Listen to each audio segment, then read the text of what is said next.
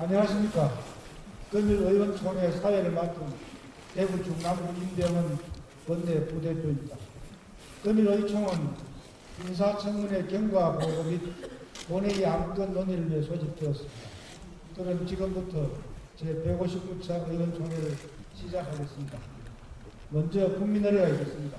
모두 자리에 서서 전면에 국기를 향해 주시기 바랍니다. 국기에 대하여 경례.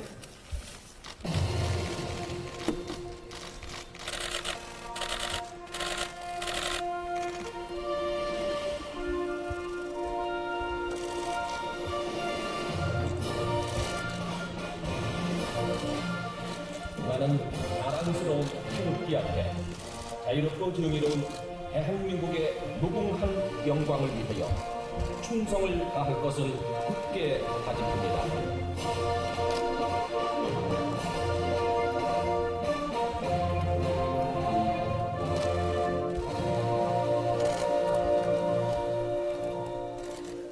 바로 이 의식을 생각하겠습니다. 자리에 앉아.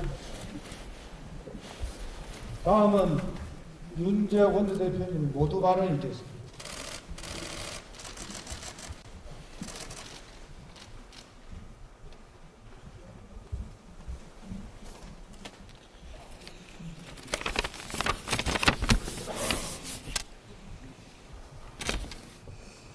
추석 연휴가 끝난 지 3일이 되었습니다.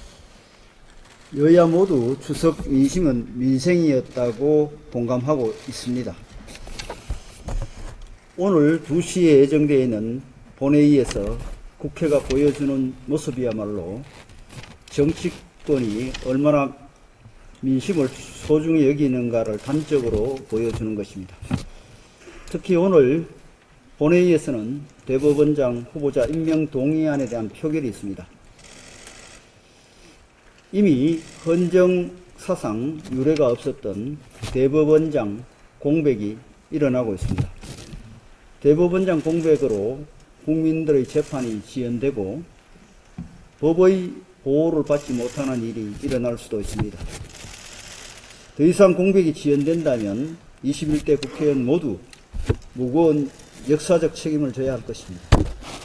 민주당은 오늘 본회의 직전에 부결 당, 당론 채택 여부를 결정한다고 합니다. 대법, 대법 원장 임명은 정치와 진영 논리가 아닙니다. 법을 마지막 보루라고 믿는 국민의 삶, 인생입니다. 민주당은 국민이 원하는 민생 정치 회복의 시작이 대법원장 임명이라는 점을 꼭 기억하고 표결에 임해 주시기를 바랍니다. 그리고 오늘 본회의에서는 지난 9월 본회의에서 처리하지 못한 민생 법안들을 반드시 통과시켜야 합니다. 정치에 밀려 민생 법안을 처리하지 못하는 일은 다시는 일어나서는 안 됩니다.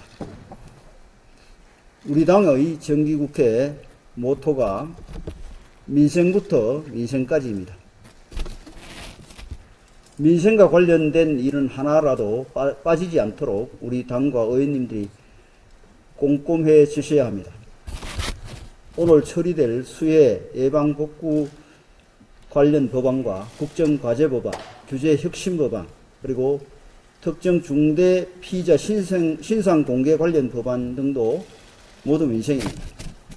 국민들의 삶과 바로 연결되어 있는 중요한 법안들이 지체 없이 통과되어 하루라도 빨리 국민의 삶에 도움이 될 수 있도록 해야 합니다. 오늘 본회의 진행 상황과 관련해서는 원내 수석 부대표께서 어, 설명을 사, 자세히 해 주실 것입니다.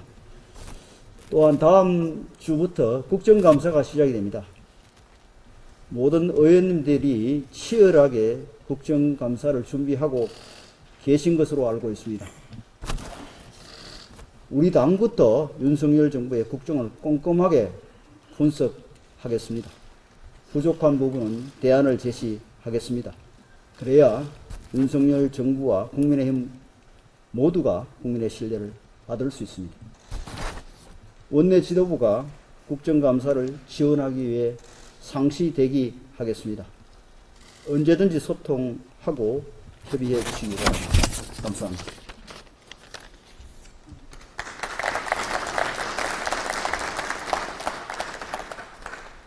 예, 다음은 이균용 대법원장 인사청문 특별위원회 위원들의 성명 발표가 있겠습니다.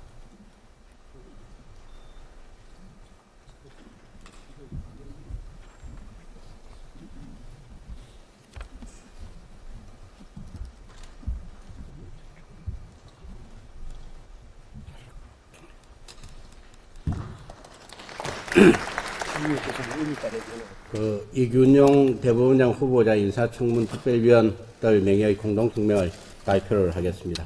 대법원장 공석이라는 초유의 사태를 초래한 민주당 이균용 대법원장 후보자 임명 동의를 촉구한다라는 제목입니다.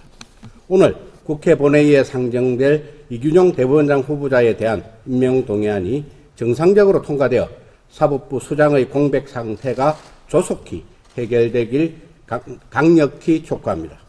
이균용 후보자는 약 33년간 법과 원칙에 따른 판결을 한다는 소신으로 7천 건 이상의 판결과 12,000 건 이상의 결정에 관여하는 등 다양한 재판 업무를 두루 담당하면서 탁월한 비교법적 지식을 토대로 법률 실무 발전을 위해서 힘써온 정통 법관입니다. 인사청문 특, 특위는 9월 19일부터 20일까지 양일간 진행된 인사청문회를 통해 후보자가 사법부의 독립과 정치적 중립성을 확고히 지키면서 재판 지연 등 사법부의 고질적인 해난들을 해결하고 사법부에 대한 국민의 신뢰를 제고할 적임자라는 것을 명확히 확인할 수 있었습니다. 물론 청문회 과정에서 후보자의 부주의로 정기재산 신고 시 가족 보유 비상장 주식을 누락한 점이 문제점으로 제기되었으나 후보자가 그 비판을 겸허히 받아들이면서 낮은 자세로 국민들께 송구함을 거듭 표시함과 동시에 더 나아가 후보자는 보유한 비상장 주식을 처분하여 고위공직자로서 연결성에 대한 일말의 의혹도 발생시키지 않을 것임을 굳게 다짐하는 모습을 보이기도 했습니다. 그 밖에 농기법 위반 의혹, 편법 정려 의혹, 불법 자녀 유학 의혹, 자녀의 건강보험 부정수급 의혹, 처가회사 편법 운영 등의 의혹이 제기되었으나 해당 의혹들은 후보자가 실제로 관여하지 않은 부분이 많고 그 근거도 부족하여 대법원장으로서의 부적격 사유가 된다고 보기 어려운 것이 사실입니다. 후보자로 지명된 초기에는 대통령과의 친분이 언론에 언급된 바 있으나 청문회 과정에서 후보자가 대통령과 직접적인 친분이 없을 뿐만 아니라 수년간 만남 자체가 없었다는 점이 밝혀진 만큼 민주당 등이 주적한, 주장한 의혹의 다수는 억측에 지나지 않았습니다. 우리 국민의 인사청문위원들은 후보자가 법관으로서 갖춘 헌법 정신 그리고 공정성과 중립성을 놓고 볼 때 사법부 수장으로서 전혀 손색 없는 후보자라고 공언하는 바입니다. 이, 이균용 후보자가 임명 동의를 받지 못하는 경우 30년 만에 발생한 초유의 사법부 수장 공석 상태가 현실화되며 상고심 심리 지연은 물론 후임 대법관 임명 절청 차질에 따른 사법부 구성이 심각하게 위협받게 됨으로써 헌정사에 유례없는 혼란이 야기될 우려가 있습니다. 그 피해는 오롯이 신속하고 충실한 재판을 통해 기본권을 보장받기를 원하는 국민들에게 돌아갈 것임이 불보듯 뻔한 것임을 민주당, 민주당은 부디 직시하길 바랍니다.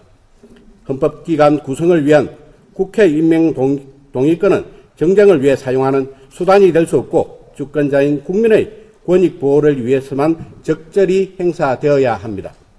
특별한 부적격 사유가 없는 후보자에 대한 임명 동의를 부, 부결시켜 대한민국의 법치와 자유민주주의를 후퇴시키는 상황이 발생되지 않기를 강력하게 촉구합니다. 인사청문위원 일동.